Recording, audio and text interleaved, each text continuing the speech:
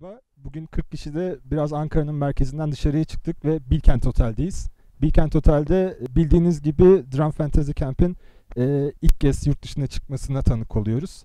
E, 2007'den bu yana Amerika'da düzenlenen Drum Fantasy Camp ilk kez yurt dışına çıktı ve bu şans Ankara'ya e, verildi aslında. Bilkent Otel'de 3 gündür 8 Şubat'tan beri süren bir organizasyon var ve e, burada e, bu, dünyanın önde gelen davulcuları atölye çalışmalarında katılımcılara dersler verdiler. Biz de organizasyonun son gününde e, sizler sizlere bu sayılı davulcularla yapacağımız kısa röportajları vereceğiz. E, ilk konuğumuz Jojo Mayer. So what kind of an experience with meeting these participants from Turkey? Well, it's nice. It's uh, it's um, little different than in the states, but uh, it's very enthusiastic. You know, people are really into it, so that makes that's fun to participate. You know, when this level of intensity is very high, so that's cool. Have you ever played in Turkey? Yes. Yeah, I played in uh, in Istanbul with my band before. About Ankara, did you have a chance to see the downtown? Last night I was going a little bit into clubs and some bars, but not much. And did you like it? Yeah, of course. Yeah, it's nice. Uh, do you have an idea about Turkish music, Turkish rock music? A little bit, yeah, but not much, you know, because I don't speak the language, so all the, the lyrics is I don't understand, but uh, I know some of the rhythms, you know, the odd meters and the nine and the seven, you know, I I I, I heard it, uh, I like it. Well, some of them, you know, I mean, everybody that comes to the camp wants to get better. You know, they want to improve. They want to learn something. You know, some guys they just want to spend time with the drums because they like it. You know, and they it's like you know they've been playing drums all, all their life and they're older and they just want to hang out with Steve and me and Thomas or the, the famous drummers and you know get a little bit of a feeling of you know the proximity but other guys they really want to learn something and they want to maybe be a professional musician and they, that's their chance to like learn from some of the people that they uh, look up to you know this they can be close to their idols and and ask them you know their heroes is right here so that's a very rare opportunity Thank you. Actually, that's it. So thank you very much. Bye bye. and it's a lot of fun for me to for example here in turkey uh, when i was teaching the beginner class i had to really reduce everything to the pure essence of it and simplify. And this is a great challenge but also a really important and very steep learning curve for any teacher you know? So uh, it's been a great experience. And of course i've learned a lot about uh, keeping my my uh, curriculum uh, you know streamlined and and perfected for each level of student What about Ankara? Did you have a chance to see the uh, see around downtown? Absolutely nothing. No, I, I haven't left the hotel basically since I arrived here. So everything's here, which is wonderful uh, for what we're doing here. We don't have to leave the hotel. Everything's here. Um, it's a great location. The infrastructure is perfect. And we've had no need to leave. Uh, and in the evenings when we're off, we're usually too tired to go out and explore the city. So hopefully next time we'll get to explore. I think Jojo was in the downtown last night. Oh, so he didn't let you know. Like, I see. I see. No, I, I flaked out last night. I was too tired. I wanted to get some sleep. You know, we have a, a crazy travel schedule ahead of us again, uh, and we leave in the middle of the night tonight. So I wanted to get some sleep. Okay. About the future plans, do you know whether you, you will be in Ankara again next year or in future? Well, I will be in Ankara again in about two months. In fact, I'm I'm back here on tour with uh, uh, Paul Gilbert, um, and we're going to be performing in Ankara and in uh, uh, Istanbul in about in mid-April. So uh, very soon I'll be back. In fact, and hopefully I'll be back to host my own camp here. Uh, I've already spoken to Temuralp, and uh, we're trying to possibly bring my drumming boot camp over here as well. So we're trying to organize that. And of course, if there's ever any drum fantasy camp here again, I'd be very happy to come back. Okay. Thank you very much Thomas. Pleasure. Tekrar merhaba. Bu sefer yanımda Steve Smith var. Onunla e, organizasyon hakkında konuşmaya devam edeceğiz. Well, like you said, this is the first time we've had Drum Fantasy Camp outside of the United States. I think we've had six years in a row in the USA. So we've developed a nice system of uh, how we teach the drums during the day, and then we have performances at night where the students come up and jam with a professional band. And one of the things that makes the camp uh, here in Ankara different is that we've added some vocal instruction and some guitar instruction.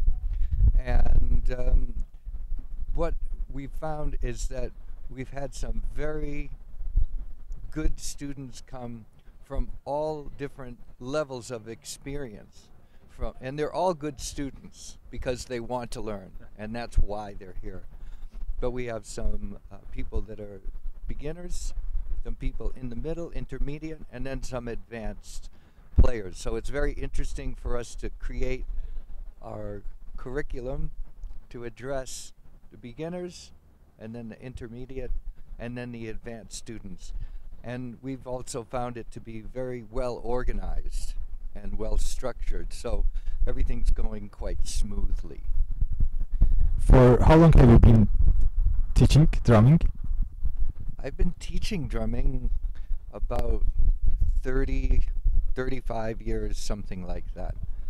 And, and my teaching is just part of what I do. I'm not a full time teacher, I'm a full time professional performer, but I do some teaching in the form of teaching at the drum camps and doing drum clinics.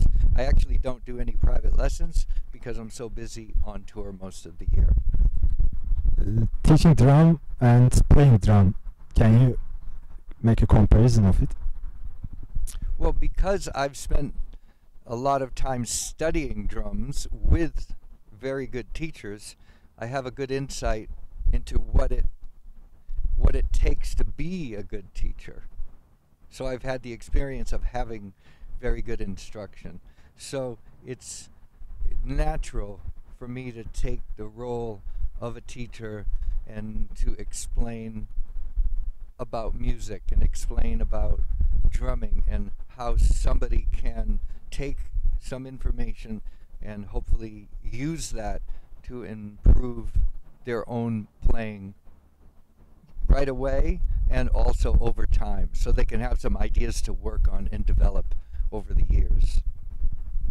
About these previous camps in the States, uh, your relationship, relation with the participants, uh, did they end at the end of the camp or did they continue after the camps? The relationship with the students? It depends. Some students I I hear from sometimes, other students I don't. So it, it just depends. And because some students maybe come to the camp one time or two times, some students actually come most every time or not, or a lot of times. And so it depends on if the students come back or if I see them when I'm on tour or something like that. Okay, but do you only teach here or learn also here? Here? Do I learn? Yeah, at these camps. I learn uh, yes, I learn in a, in a few different ways. One way is by teaching, I clarify my own ideas because I have to say them out loud. So it helps me uh, understand my own methods and my own process better.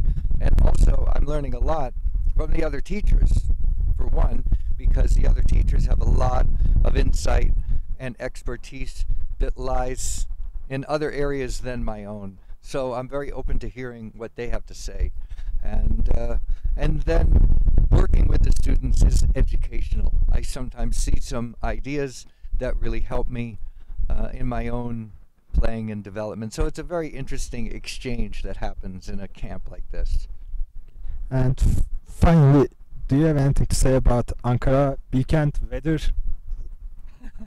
well, the truth is, I've only been to this hotel and stayed the entire time inside the hotel. In fact, in the four or five days that I've been here, this is the first time I've come outside.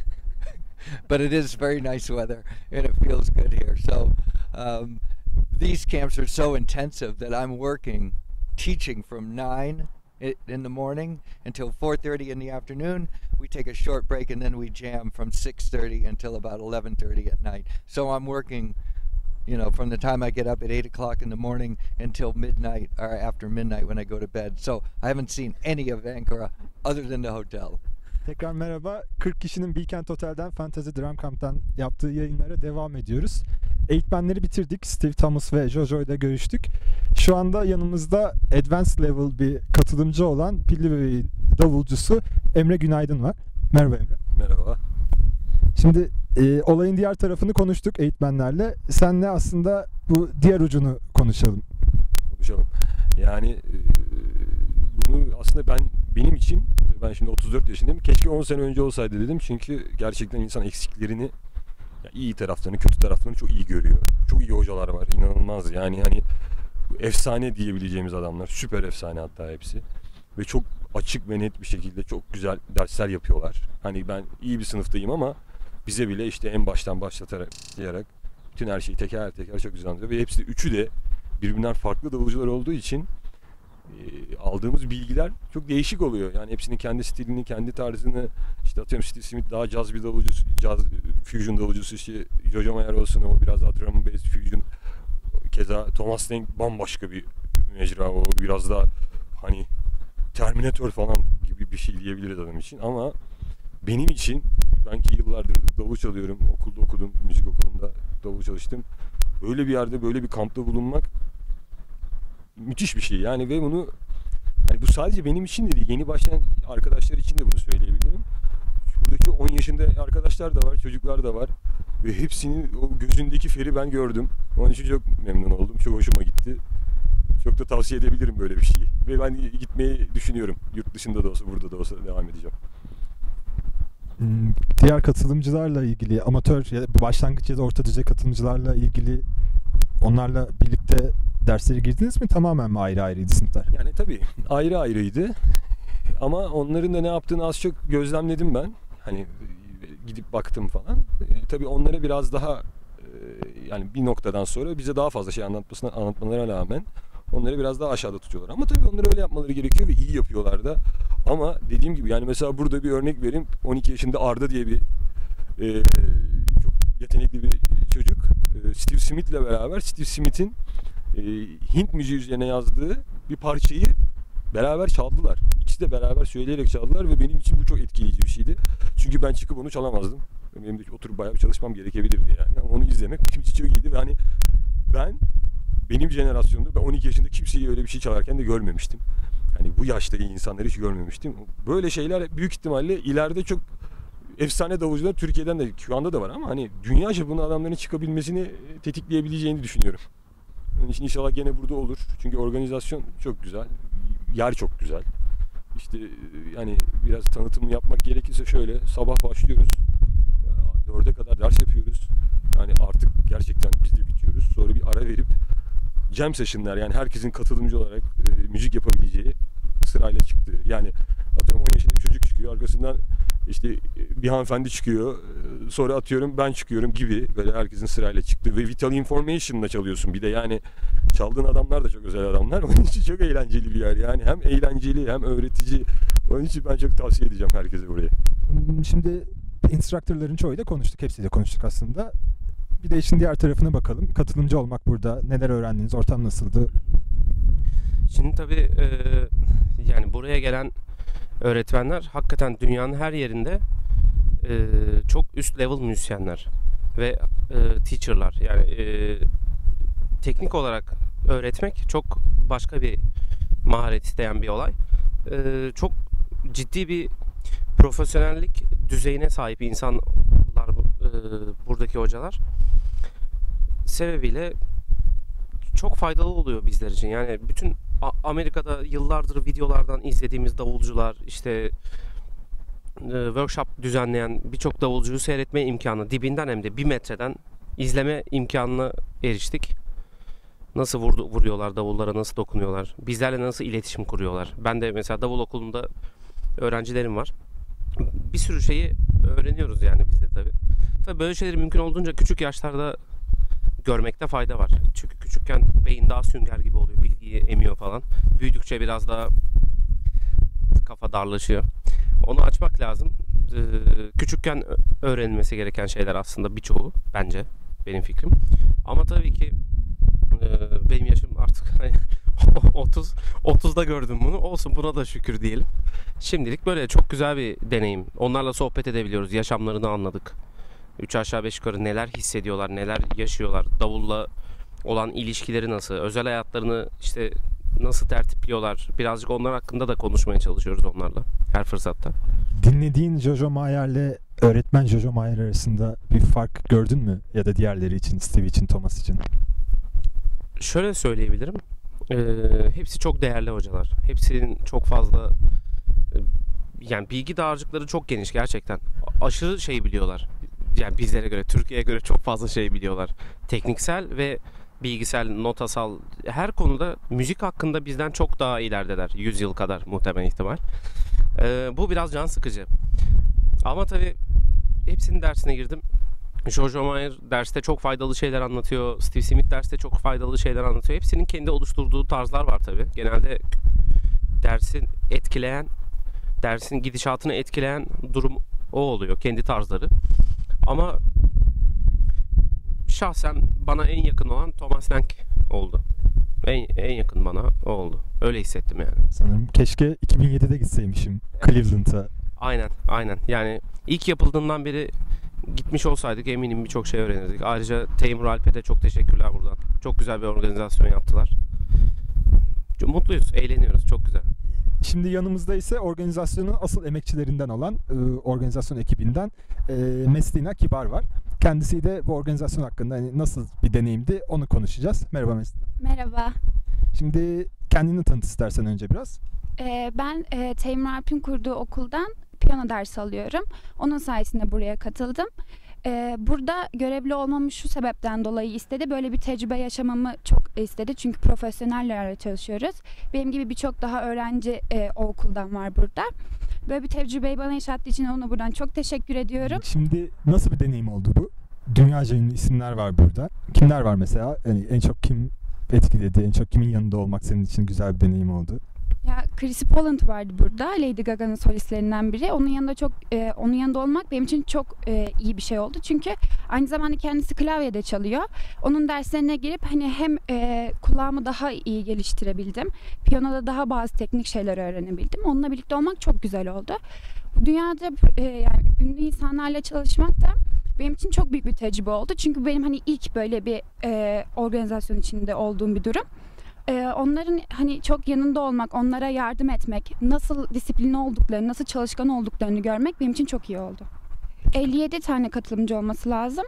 Ee, küçükten büyüğe herkes buradaydı. İşte bazı ünlü gruplarda çalışanlar da buradaydı. Herkes bir şey öğrenmek için buraya geldi. Herkesin memnun kaldığını düşünüyorum. Hani Türkiye'de de böyle ilk bir şeyi gerçekleştirirken benim de burada olmam benim için çok onur verici bir şey. Biz şu anda yanımda organizasyonun ilk kez Amerika dışına çıkmasına vesile olan ve Ankara'ya getiren kişi olan Temurat Mertel Fosforoğlu var. Bu organizasyon hakkında ve bunun Türkiye'ye nasıl geldi hikayesini biraz alalım sizden isterseniz. Yani eee, yaklaşık 30 senedir bu işin içindeyim. Konservatuvar bitirdim. Ardından Amerika'da tahsilimi devam ettim. Eee, Birçok müzik türünde orkestralarda çalıştıktan sonra bundan 7-8 sene önce kendi işimi yapmaya karar verdim. Oradan yola çıkarak Ankara'da Pan Sanat Akademisi diye bir akademi kurduk. Öğrencilerimizi toplamaya başladık. Sonunda okulumuz kuruldu. Eee, Ben rahat durmayı seven bir insan değilim. Onu da yaptıktan sonra Dedim ki yani benim çocukluktaki hayalim bu işin en iyileriyle Türkiye'de Türk öğrencilerle çalışmak. Çünkü çok fazla gereksiz vakit kaybettiğini düşünüyorum insanların. Biz de zamanında kaybettik. Bulalım da işte bakalım DVD'sine çalışalım da falan derken Amerika'da eee, bu son 10 senedir gidip geldiğim için zaten belli stüdyo çalışmaları yapıyordum. Arkadaşlar edindim burada. Sonuçta geldiğim noktada bu insanların hepsini tanımayı başardım. Hepsi arkadaşım oldu. Eee, Bundan 3 sene önce de eee, Cleveland'da, Ohio'da yapılıyor aynı zamanda. Sadece orada yapılıyor. Eee, Stephen Orkin oranın kurucusu. Onunla bir konuşmamızda bunu neden Türkiye'de yapmıyoruz Avrupa ayağı olarak dedim. Aa olabilir dedi. Üzerine çalışalım dedi. Tabii bunu sağlamak için bayağı bir uğraşıyorsunuz. Çünkü onlarla arkadaş olmak çok kolay olmuyor. Zaman geçmesi gerekiyor. Onlar da güvendikleri için okey dediler. Tabii bu zincirleme yürüdü. O bana inandı. Onlar zaten onunla çalıştığı için ona inandılar. Şimdi buraya geldi. Herkes birbirine inanıyor. Hatta şimdiden soruyorlar. Gelecek sene şunu da yapalım, bunu da yapalım. Çünkü çok heyecanlandılar. Çünkü orada da çok güzel bir organizasyon var ama burada bizim eee, burada bizimle beraber çalışan bütün crew dediğimiz ekip hepsi bizim okuldan öğrencilerimiz. Profesyonel bir ekip değil. Biz kendi ekibimizi yaratalım istedik. Amatör ruhla çalıştıkları için canla başla çalıştılar. Bu da tabii onları çok etkiledi. Devamlı profesyonel insanlarla çalıştıkları için daha şey oluyor çizgi böyle herkes işini biliyor falan filan. Burada o heyecanı görünce onlar da katıldılar. Çok zevkli bir beş gün geçirdik. Ee, işte şimdi sonuna geliyoruz artık. Bu akşam güzel bir konser var. Ondan sonra onlar tekrar dünyanın bir yerinde kaybolup gidecekler.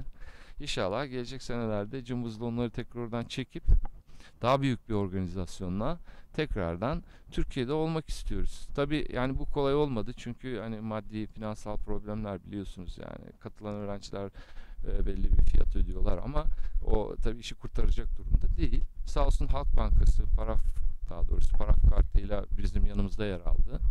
Böylelikle işimiz biraz daha kolaylaştı. Ve ilk seneyi atlattık. En zor sene ilk seneydi çünkü yapabilmek. Ondan sonrası daha kolaylaşıyor. Elinizde data olduğu için insanları ikna etmeniz daha kolay oluyor. Ve çok büyük yankı uyandırdı. Keza festivalde şu anda 9 ayrı ülkeden Avustralya, Amerika, Fransa, Polonya gibi, İtalya gibi, Yunanistan var, eee, Slovakya var. 9 ayrı ülkeden Almanya, bir tane kaldı hatırlamadım zaten ama Londra, İngiltere. Onlar hepsi koştular geldiler buraya. Beraber ayrıca bir kült- kültür kaynaşması oldu tabii. Farklı. Herkes kendi kültüründe olan şeyleri paylaştı. Konuştuk. Hocalar için de çok etkileyici bir şey oldu. Ve işte ilk defa 2013 yılında Türkiye'de de böyle şeyler yapılabiliyormuş. Çaba her şeyi hallediyor ya geldik. Önemli olan benim için hayatta adım atmak, başarıp başarmamaktan önce. Ya adım atın, ondan sonrası gelir. Yerinize saydığınız sürece ya da arkanıza bakıp da kim bana yetişiyor acaba dediğiniz sürece hayatta hiçbir şey olmuyor.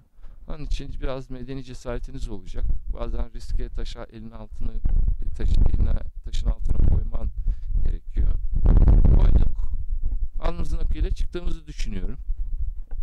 Onlar da bütün iyi dileklerini bize söylediler. Gerçekten yani bizi onur etmek için değil. Defalarca yani birkaç tanesi. Biz hayatımızda böyle organizasyon görmedik dediler.